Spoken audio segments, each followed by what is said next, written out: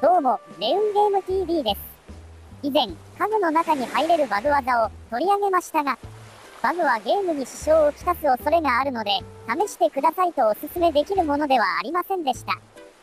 しかし今回、視聴者さんから、バグを使わなくても、安全に家具に入れる、画期的な裏技があるらしいことを教えていただいたので、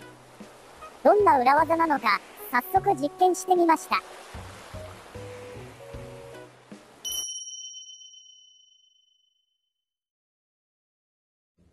まず、ファニーの島のスタジオの中に入ります。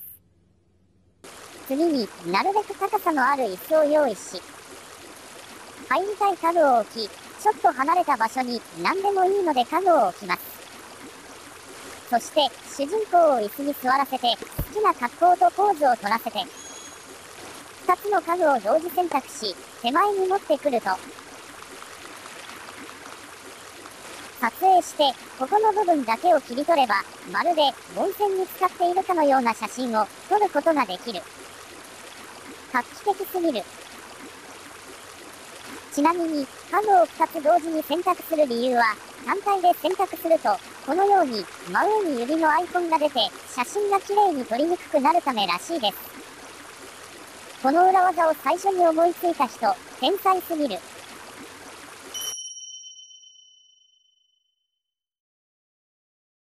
今の技を応用して、ファニーの島にアミーボカードで好きなキャラを呼ぶと、まるで2人で混浴しているようなレアな映像を撮ることもできます。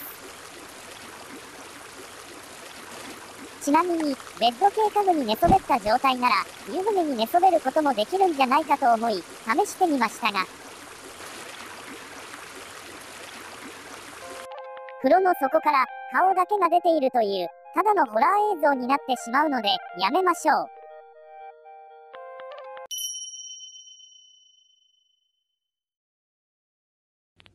他の家具でも同じことができるのか試してみました。まずは、ジャグジー。違和感がない。では、ヒノキ風呂だと。湯船が深すぎて、溺れてるみたいになってる。バスタブでも試してみましたが、頭にバスタブが刺さった人みたいになってる。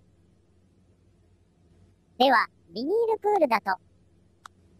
こちらは違和感がなく、まるでおもちゃを持って遊んでいるような、微笑ましい絵に。シャワールームでも試してみましたが、首が転がってるみたいな、やばい絵になるので、やめましょう。他にも、噴水に入浴したり、キッズテントに入ってるっぽい写真も撮れたり、犬小屋をかぶったり、石頭な彫刻に食べられたり、ブロックや土管を被り物みたいに被ったり、暖炉に薪と一緒にくべられることもできます。サンクスギビングな暖炉だと、よりフィット感があるので、おすすめです。